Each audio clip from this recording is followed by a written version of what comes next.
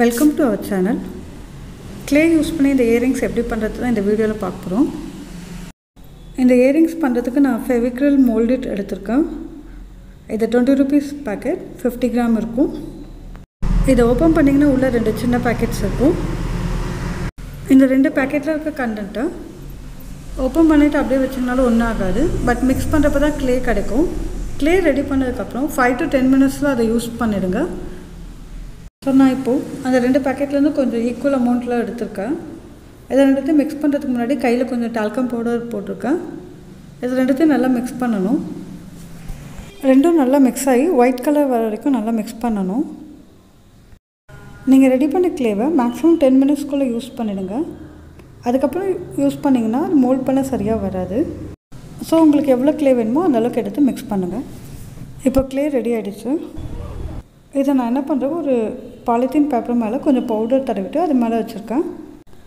இந்த க்ளேவை நான் நல்லா ஸ்ப்ரெட் பண்ணி விடுறேன். என்னோடய இயரிங்ஸ் எந்த அளவுக்கு திக்காக வேணுமோ அந்தளவுக்கு நான் ஸ்ப்ரெட் பண்ணுறேன் இந்த க்ளேயில் ரவுண்ட் ஷேப்க்கு கட் பண்ணுறதுக்காக ஒரு மூடி எடுத்திருக்கேன்.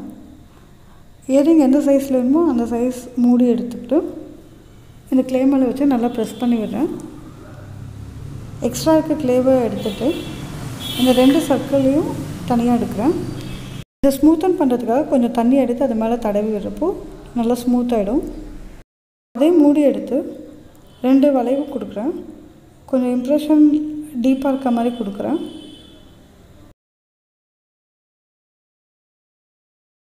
ஈக்குவல் அமௌண்ட்டில் க்ளே எடுத்து ரெண்டு பீட்ஸ் ரெடி பண்ணுறேன் கொஞ்சம் க்ளே எடுத்து அதை நல்லா ரோல் பண்ணிங்கன்னா பீட்ஸ் கிடைக்கும்.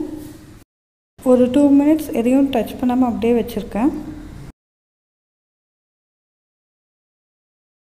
நான் ரெண்டு ஐபின் எடுத்திருக்கேன். இந்த ஐபின்னு இந்த பேட்டர்னில் கட் பண்ணியிருக்கேன் இதெல்லாம் அந்த ஐபின் இருக்க போர்ஷனை நம்ம ரெடி பண்ண பீட்ஸில் இன்சர்ட் பண்ணுறோம் அந்த பீட் இன்னும் ட்ரை ஆகலை. அதனால் ஷேப் மாறக்கூடாதுன்றதால லைட்டாக கொஞ்சம் தண்ணி தடவிட்டு அதை திரும்ப ரோல் பண்ணுறேன் அப்போ அந்த ரவுண்ட் ஷேப் கரெக்டாக வரும். நம்ம ஐபினில் இன்னொரு சின்ன போர்ஷன் எடுத்தோம்ல அதை இந்த மாதிரி ப்ரெஸ் பண்ணி யூ ஷேப்பில் கொண்டுட்டு வரேன். இந்த ரெடி பண்ண யூ பின்னா இயரிங்ஸோட மேல் போர்ஷனில் இன்சர்ட் பண்ணணும். இதோட ஹேங்கிங்க்காக அந்த ஐ பின்னை அட்டாச் பண்ணணும். மாதிரி இன்சர்ட் பண்ணுறேன் ட்ரை ஆனதுக்கப்புறம் ரெண்டு போர்ஷனை நம்ம ஜாயின் பண்ணிக்கலாம். இப்போ எக்ஸ்ட்ரா டெக்கரேஷனுக்காக ஒரு பென் எடுத்து அந்த ஆல்ரெடி நம்ம ட்ரா பண்ணியிருக்க கர்வ் மேலே டாட்ஸ் இந்த மாதிரி வைக்கிறேன். அந்த கர்வையும் திரும்ப ட்ரா பண்ணுறேன் எல்லா டிசைனும் ட்ரா பண்ணக்கப்புறம் இது கொஞ்சம் ட்ரை ஆகட்டும். அதுக்குள்ளே செகண்ட் கம்பல் பண்ணலாம். செகண்ட் டிசைன் பண்ண போகிறோம் இப்போது இதுக்கு என்ன பண்ணுறேன் சின்ன சைஸில் ரெண்டு சர்க்கிள் எடுத்திருக்கேன். இது ஈக்குவல் சைஸில் பீட்ஸ் ரெடி பண்ணுறதுக்காக இந்த மாதிரி சர்க்கிள் கட் பண்ணி எடுத்திருக்கேன். இதை ரெண்டுத்தையும் நல்லா ரோல் பண்ணிவிட்டு பீட் மாதிரி கிடைக்கும்.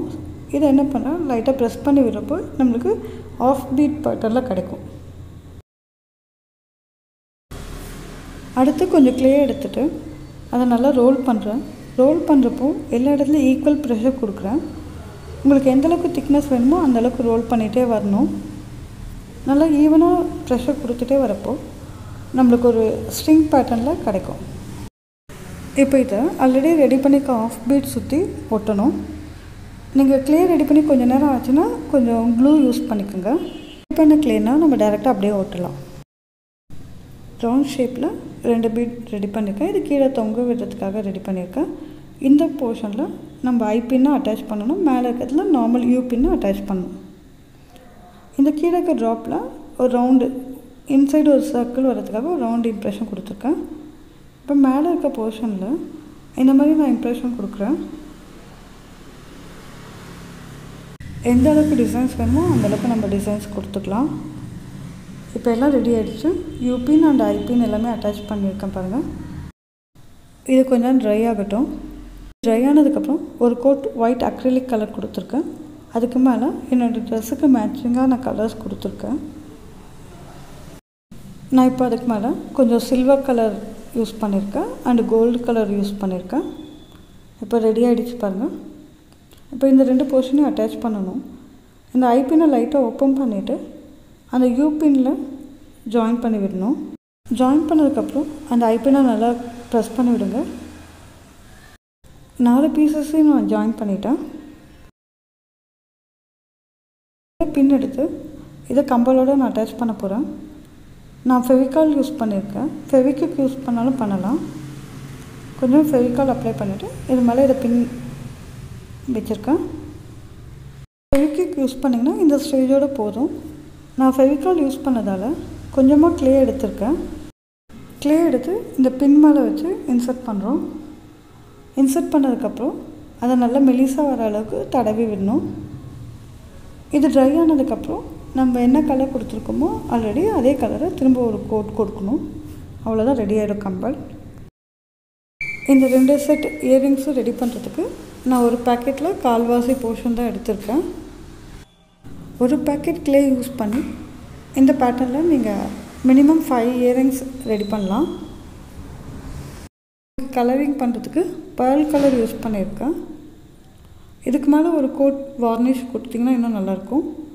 இதெல்லாம் ஆல்ரெடி பண்ணது. இந்த வீடியோ உங்களுக்கு ரொம்ப பிடிச்சிருக்குன்னு நினைக்கிறேன். தேங்க்யூ